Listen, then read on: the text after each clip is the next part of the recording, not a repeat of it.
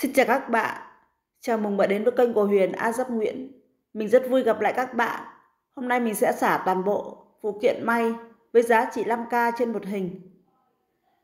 Các bạn mua ủng hộ mình liên hệ đã số Zalo này giúp mình 098 809 1712. Do mình nhập nhiều và không dùng đến, nên mình sẽ xả hết cho cả nhà. Anh chị em đồng nghiệp mua ủng hộ giúp mình. Cảm ơn cả nhà rất là nhiều.